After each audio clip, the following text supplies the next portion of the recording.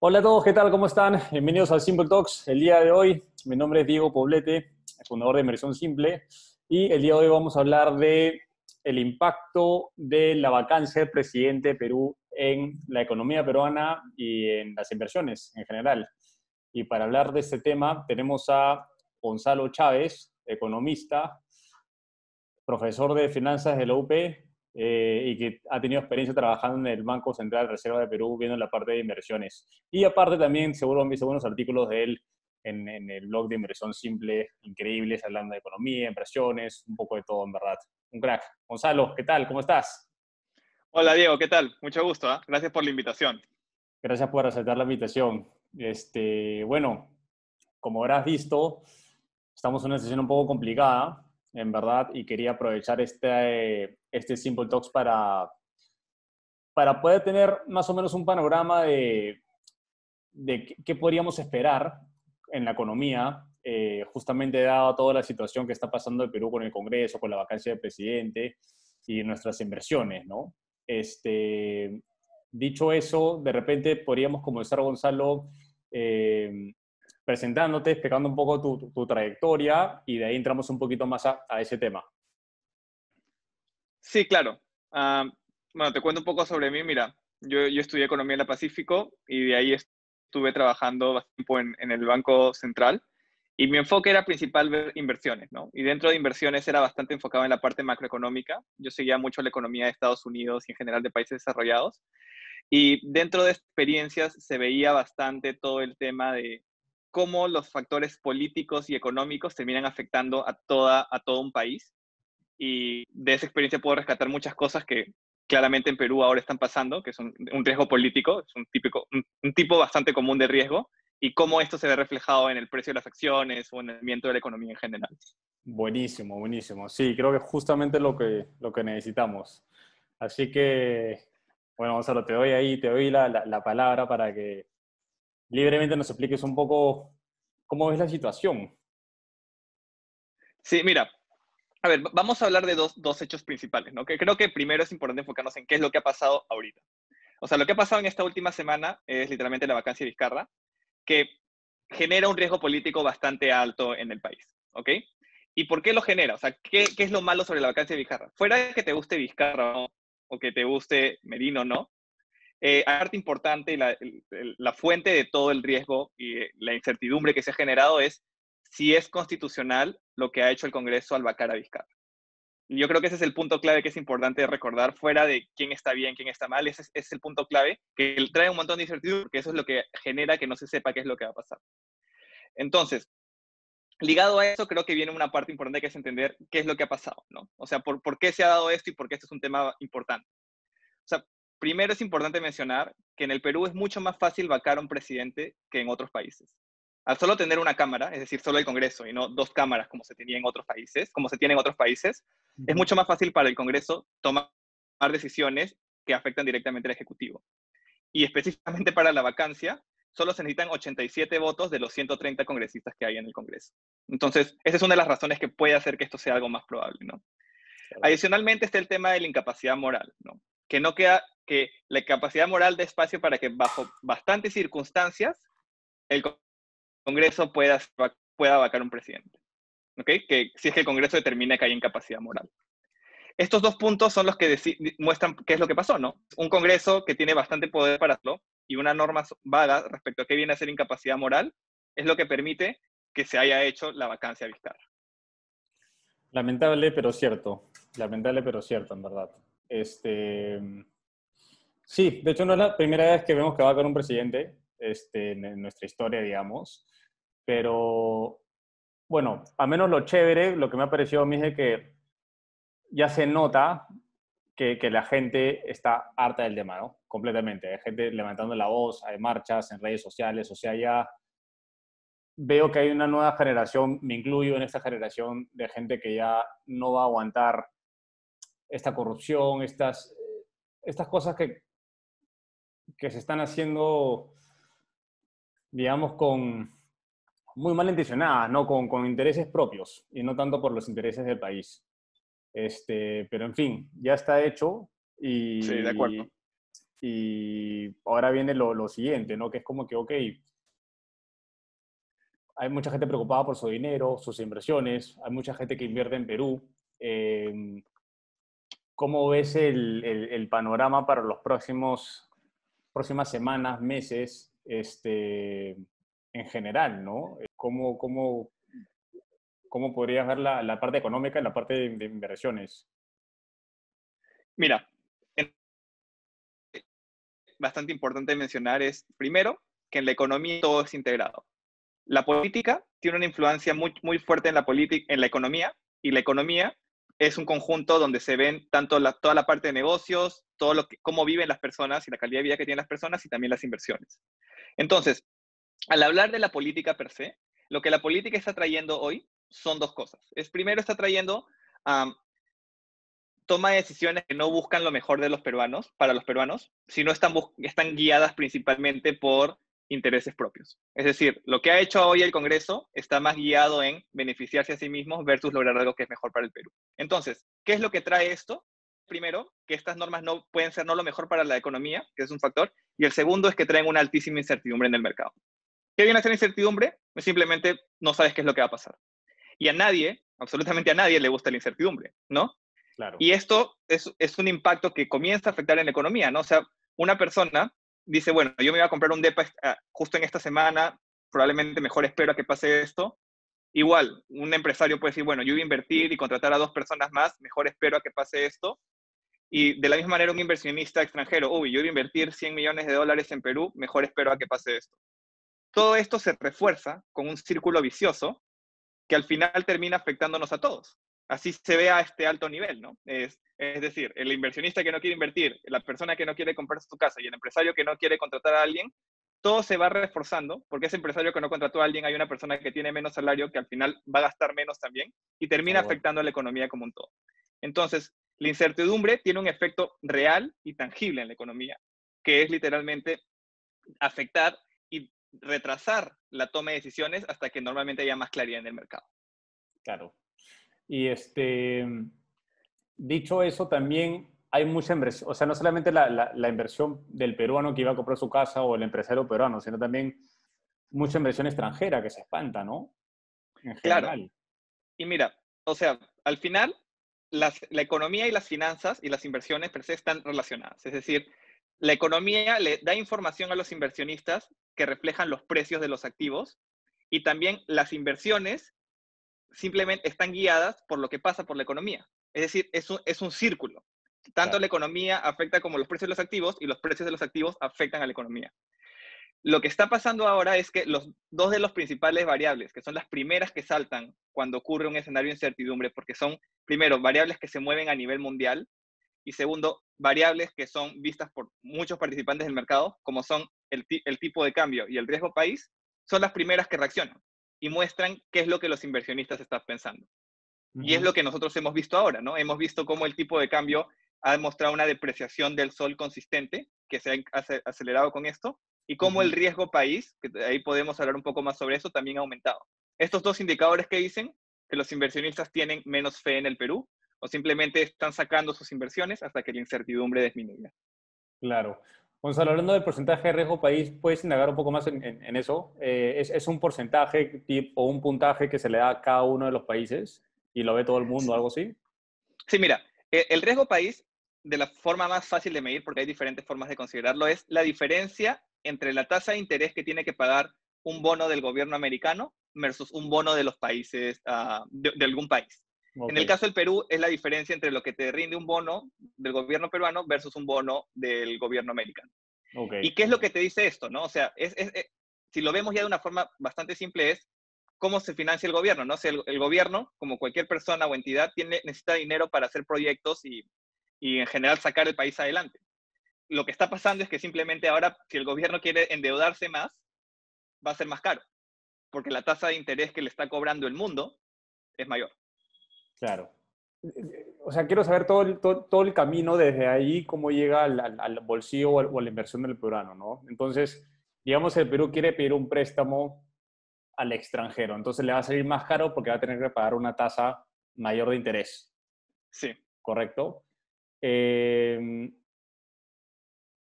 ¿qué efecto directo, o sea, qué sigue de ahí en, el sentido de la cadena? Es como que eso causa que, que causa que, que al final este, llega a nosotros, porque Perú tiene, tiene reservas, o sea, al final le va a salir más caro, pero eso qué, qué hace? ¿Sube el tipo de cambio directamente y al final todo se vuelve más caro para nosotros?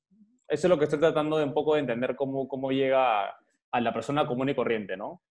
Claro, a ver, empecemos por la parte del, o sea, el tipo de cambio es una variable bastante importante que ahí podemos hablar un poco más sobre eso. Empecemos con el riesgo país, ¿ok? El riesgo país es un indicador, como te digo, es un indicador que muestra cuál es la confianza que tienen los inversionistas extranjeros sobre el país.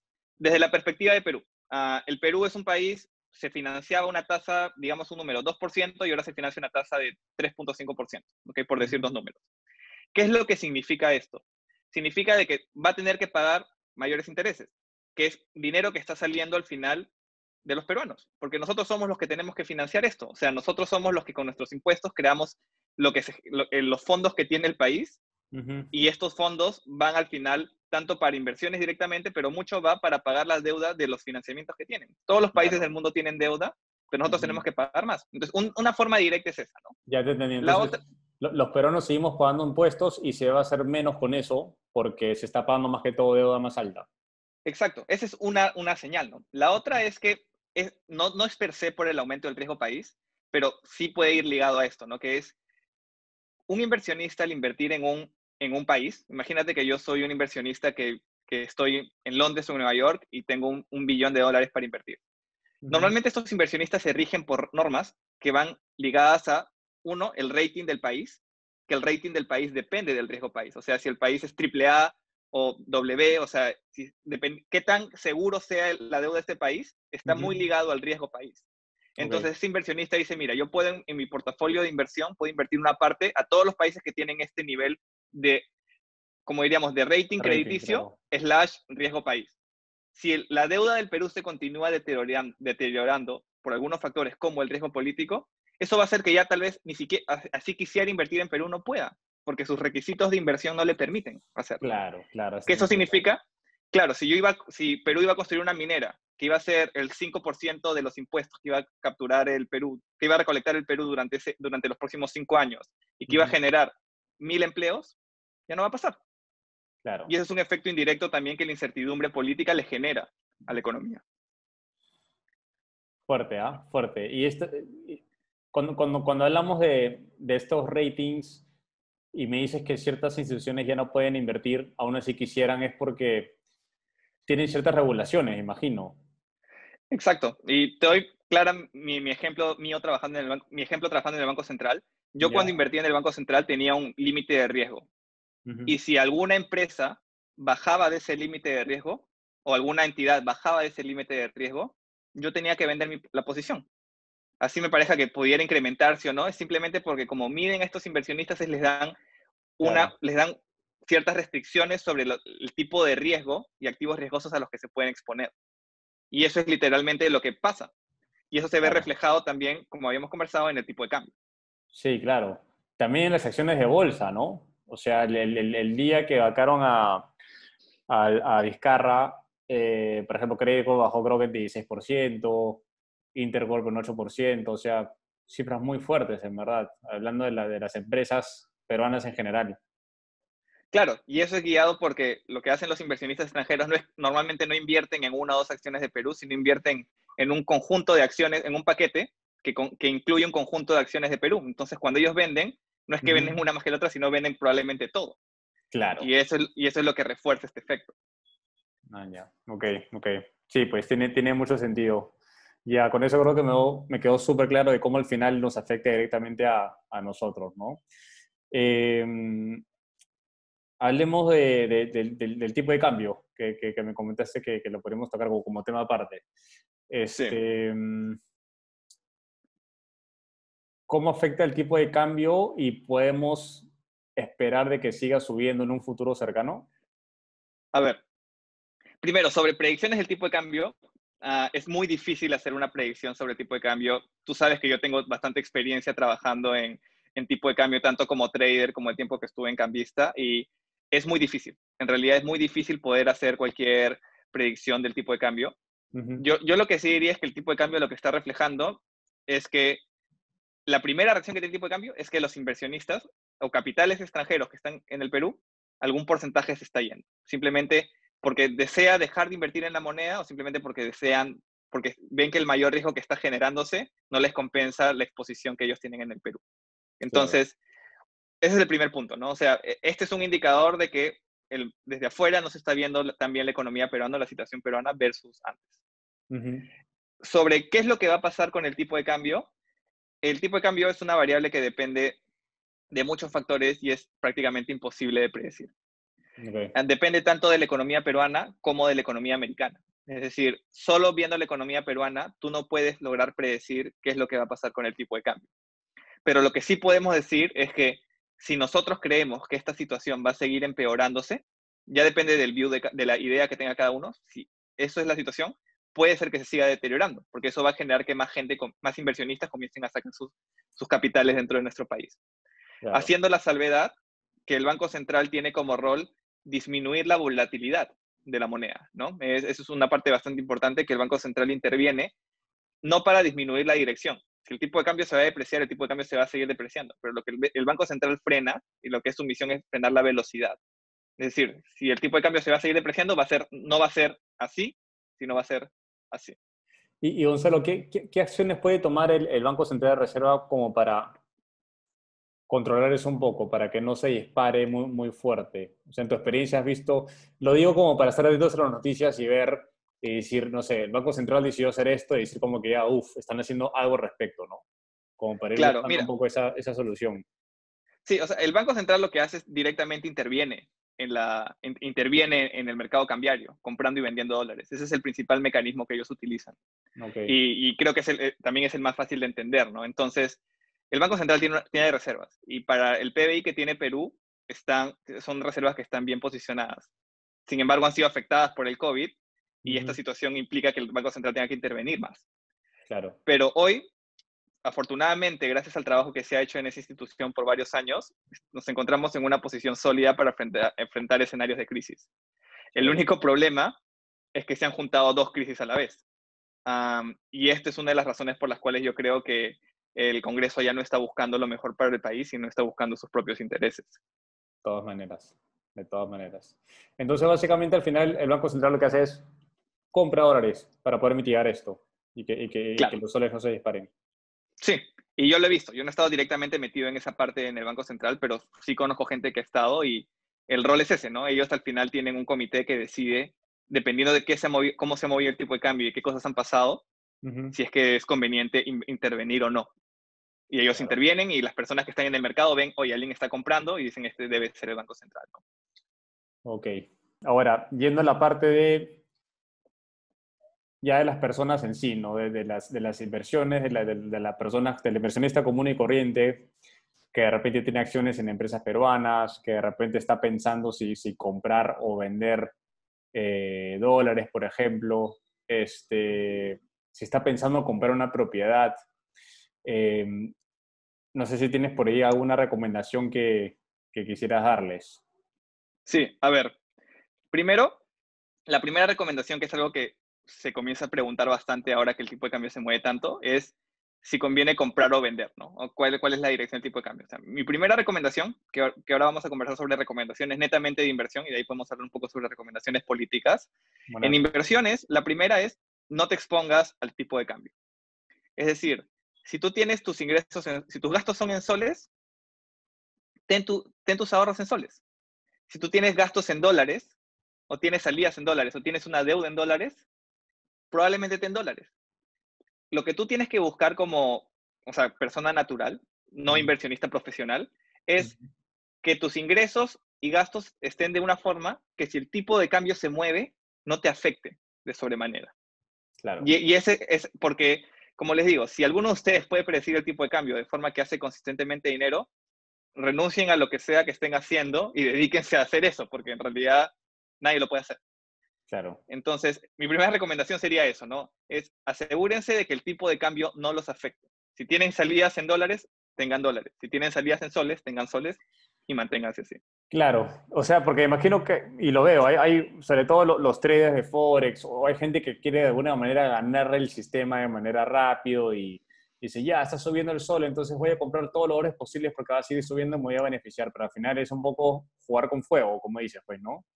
Porque de repente mañana el Banco Central de Reserva puede hacer una acción y el sol otra vez se, o sea, puede bajar, digamos, ¿no? Exacto. Y eso ha pasado, o sea, no, no, no, es algo que podría pasar, sino ya ha pasado antes, incluso con empresas y con empresas que tienen profesionales que ven tipo de cambio, que decidían exponerse a que el dólar se iba a seguir apreciando, por ejemplo. Pasaba lo contrario y todas las empresas reportaban pérdidas. ¿Por qué? Porque no estuvieron, no tuvieron este match, no estuvieron calzadas entre sus, entre sus entradas y salidas en la misma moneda. Que eso es, como yo te digo, es la primera recomendación, que eso es hoy que hay alta volatilidad en el tipo de cambio, pero en general siempre. O sea, no, no se expongan al tipo de cambio. Claro, y ya, no se ponga el tipo de cambio y eso, eso lo haces manteniendo una parte en soles y una parte en dólares. Si tienes deudas en soles, lo pagas en soles, mantén tu moneda en soles. Si tienes tu, tu, ingreso y deudas en dólares, mantén todo en dólares. Y que no traten de ganarle el sistema, pues, este, comprando y vendiendo. Exacto. Buenísimo. Exacto. Buenísimo. Eh, ya, buenas. Buenas. Entonces, eso es en cuanto a el tipo de cambio y, el, y el, la relación sol-dólar. Eh, en cuanto a, ya pasando al tema de inversiones, ahí, ahí este, ¿qué, qué, qué recomendación este, podrías dar por ahí? Ok, ahí, ahí tengo dos recomendaciones. La primera es una que, que, me gusta bastante y lo he, hecho, lo he mencionado en bastante los artículos que, que he escrito para inversión simple, es piensen en sus activos como un portafolio. Es decir, no piensen en compro X o compro Y, sino piensen en, ok, estos son toda mi riqueza, estos son todos mis activos y cómo, cómo yo manejo como un, esto, mi portafolio como un todo y no de manera individual. En función a eso, lo, lo que para la mayoría de peruanos es cierto es que casi toda, todos tus activos, toda la, toda la dinero que tienes ahorrado y tu capital futuro, que son tus ingresos futuros, dependen del Perú. Lo cual, dentro de una perspectiva netamente de inversión, significa que estás muy expuesto a lo que vaya a pasar en el Perú. ¿Qué es lo que yo recomendaría? Si es que tú eres una persona que quiere diversificar tu portafolio, ¿ok? Y no estar tan expuesto a lo que pasa en el Perú, es dedica una parte de tu portafolio a invertirla afuera, ¿no? Invierte, por ejemplo, en la bolsa de Estados Unidos o invierte en bonos de Estados Unidos, algo que no se afecte tanto, ¿no? O sea, suena un poco a lo diversifica, no te expongas completamente a lo que viene a ser el riesgo en el Perú. Y eh, de nuevo, esta es una recomendación que hoy aplica, pero esto es en general, ¿no? Desde la teoría de inversiones es muy importante que alguien no esté sobreexpuesto a algo. Y si tú estás sobreexpuesto a Perú, probablemente te conviene invertir un poco afuera. Sí, sí, completamente de acuerdo. Este, sí, es un momento bien riesgoso, en verdad, en general, pues, ¿no?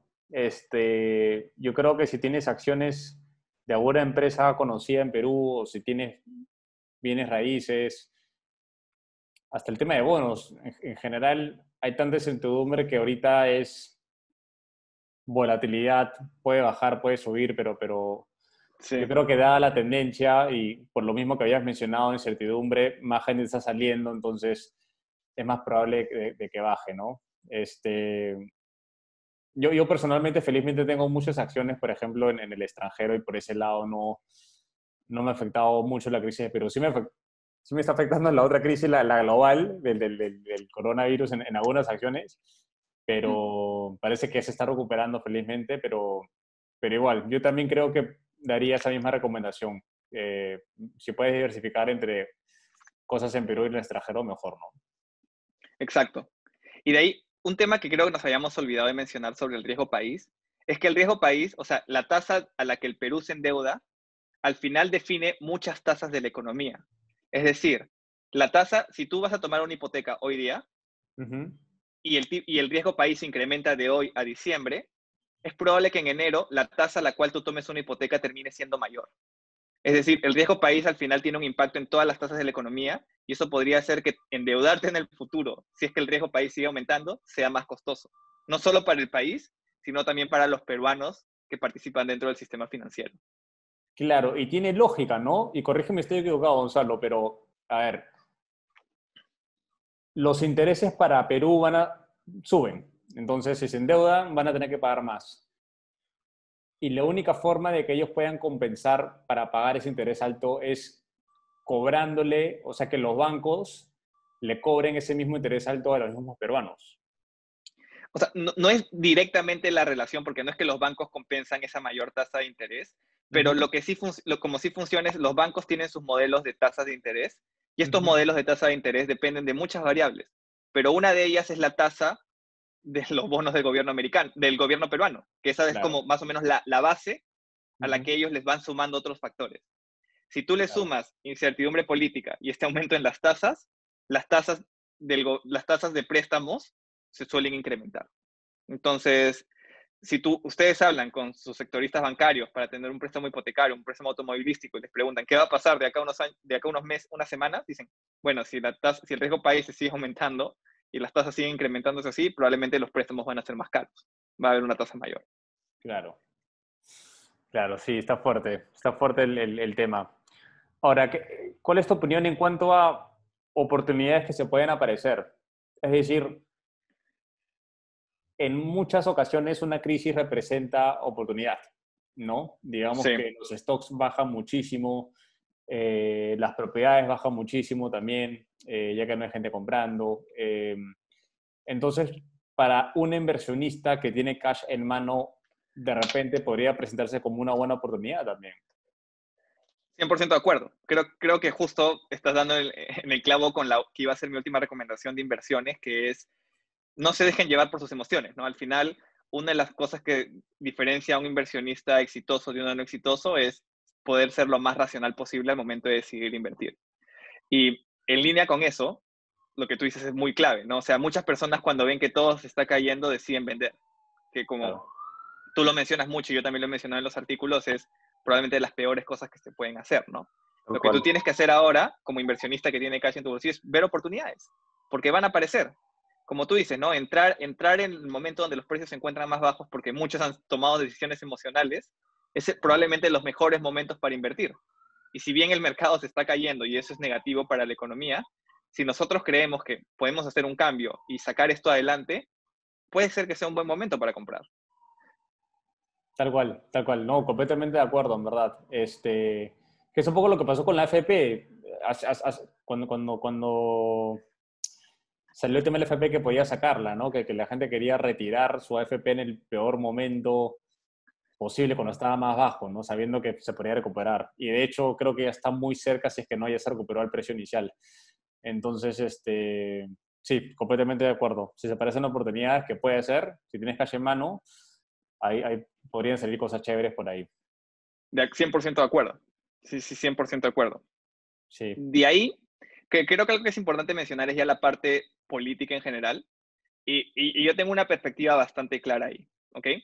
Cuando, uno analiza su riqueza, porque esto siempre lo vamos a ver desde la perspectiva de inversiones, es probablemente para nosotros dos, gente que es relativamente joven, que recién está, que está en la primera mitad de su vida, el capital humano es la mayor fuente de riqueza que ellos van a tener. Es decir, más que las acciones, más que tus inversiones, más que lo que vayas a tener, el capital humano es probablemente tu mayor fuente de riqueza, es el dinero que tú vas a generar en el futuro. Entonces, si tú eres un inversionista, así como te preocupas viendo una acción a detalle y viendo un bono a detalle para ver si conviene invertirlo o no, tienes que preocuparte por tu activo más importante, que es tu capital humano. ¿Y de qué depende de tu capital humano? ¿De qué depende los ingresos futuros que tú vas a obtener? Dependen de la economía. Entonces, con esa misma minuciosidad que tú sigues un bono o una acción, deberías de seguir lo que está pasando en la política porque la política en sí va a tener un impacto en la economía, que va a tener un impacto en tu capital humano, que es tu principal activo em, al día de hoy. Y para eso, lo que tienes que hacer es, así como haces el estudio de los estados financieros, es entender, entender qué normas están publicando, entender qué es lo que está haciendo el Congreso, ¿ok? Informarte, poder entender a mayor cantidad qué tan buena es tu inversión y qué tan bien le está yendo. Y algo que podemos hacer nosotros dentro de esto, que no se puede hacer en la parte, tal vez en una, en una empresa, es podemos involucrarnos. No simplemente entender qué es lo que está pasando, sino también poder presentar nuestra voz para que esto vaya de la forma que mayor beneficie nuestros intereses y en general los intereses de todos los peruanos. Buenísimo, buenísimo. Eh, qué, bien que haya mencionado eso, Gonzalo, porque justamente yo me considero alguien que siempre ha sido ajeno a la política en general, o sea, la política peruana. Eh, uno, porque no tenía muchas acciones en Perú, como te había comentado, la mayoría eran en el extranjero, y, y al no saber, o sea, digamos, dentro de la ignorancia, me daba miedo meter en una empresa peruana porque nunca sabía qué podía pasar. Y, justo lo mencioné también la vez pasada en, en ahí en el, canal de Instagram, de que, de que es como que no, ¿me entiendes? ¿Por qué? Porque yo tengo que tener miedo de invertir en mi propio país cuando me encantaría poder invertir en una acción peruana este, o en la economía peruana. Y, y estoy a disposición de estos, digamos, congresistas gobernantes que siempre nos ha tocado que, que son súper corruptos y malintencionados, ¿no? Y, y me gustó la, la, onda de que ahora todos están tomando una voz, o al menos se está viendo, se está sintiendo esa, esa, esa, esa vibra, esa, esa, esa, voz que dice que ya, ya, me cansé. Y, y, en verdad, o sea, me uno a eso, ¿no? Y, y, a, lo que voy es que así como yo estoy segurísimo que había muchos peruanos que simplemente eran ajenos al, al tema, en el sentido de que no, la política me aburre, que para qué me voy a meter en esto, que flojera, en verdad no sé nada. Yo considero que, que, que, que he sido uno de esos y desde ahí me he enfocado un poco a educarme, sobre todo de qué está pasando, cómo funciona el tema, y en lo posible, lo que vaya aprendiendo, ir, ir, ir pasando la voz en mi entorno. ¿no? Creo que si hay un granito de arena que se puede hacer de alguien que, que no sabe absolutamente nada de política, digamos como yo, pero que quiere aportar es de repente tratar de entenderlo y lo que vaya aprendiendo vaya informando en su círculo interior para que otros también vayan agarrando esa, esa, onda y, y, se informe mejor, porque al final la educación es la mejor, el mejor remedio a la, a la, ignorancia, ¿no? Y creo que si de alguna manera nos vamos educando, vamos compartiendo eso, este, vamos a poder votar mejor, mucho más informados en las próximas elecciones y evitar pues estos, estos problemas que han estado surgiendo, ¿no? No, 100% de acuerdo. Y como te digo, todos los peruanos estamos invertidos en Perú. Tenemos una inversión muy fuerte en Perú. Tal cual. Y tenemos que tomarlo con esa seriedad, ¿no? Es con la misma seriedad que ves una acción, tú estás invertido en Perú. El 90% de tu riqueza es Perú. Tienes que enfocarte en sacar el Perú adelante y tienes que enterarte de qué es lo que está pasando, si está tomando una buena o una mala decisión, como si fuera una empresa. Y tienes que alzar tu voz para que se haga lo que tiene que ser correcto. Tal cual, tal cual. Completamente de acuerdo. Completamente de acuerdo, Gonzalo. Y bueno, este, en verdad, gracias por, por, tu tiempo, por, por, la explicación. Este, creo que, que es algo que, que, yo necesitaba y estoy seguro que, que, varios otros también, sobre todo para entender cómo funciona toda la parte macro en general de qué está pasando, qué podemos esperar y qué podemos hacer al respecto. Este, no sé si faltó algo que por ahí querías, querías mencionar o ya con eso estamos cubriendo todos los temas. Solo cerrar en línea con eso, o sea, con justo una frase que vi ayer y que creo que aplica mucho a esto, ¿no? Es la forma más común en la que la gente renuncia a su poder es pensando que no lo tienen. Nosotros, todos los peruanos, somos inversionistas en Perú. Tenemos poder sobre nuestra inversión, porque nosotros somos los que hacemos el Perú. Tenemos que tomarlo y actuar con esa seriedad y con esa mentalidad. Tal cual, buenísimo, ¿eh? gran mensaje, gran mensaje, me gustó. Y, y, sí, es verdad, no podemos, no podemos hacernos los locos eh, no podemos pensar de que no somos parte de estos. Si eres peruano, estás metido acá.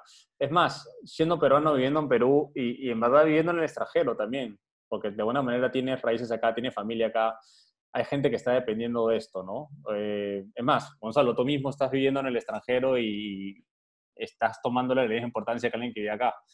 Entonces, este, gran, gran ejemplo, en verdad. Y bueno, este, gran cierre, en verdad. Y, gracias de nuevo, gracias de nuevo. Y creo que, todos nos hemos llevado un buen, un buen aprendizaje el día de hoy. Dale, Diego. No, muchas gracias, como te digo, por la, por la invitación a la entrevista y, y nada, seguimos en contacto. Chévere, Gonzalo. Un abrazo. Cuídate. Cuídate.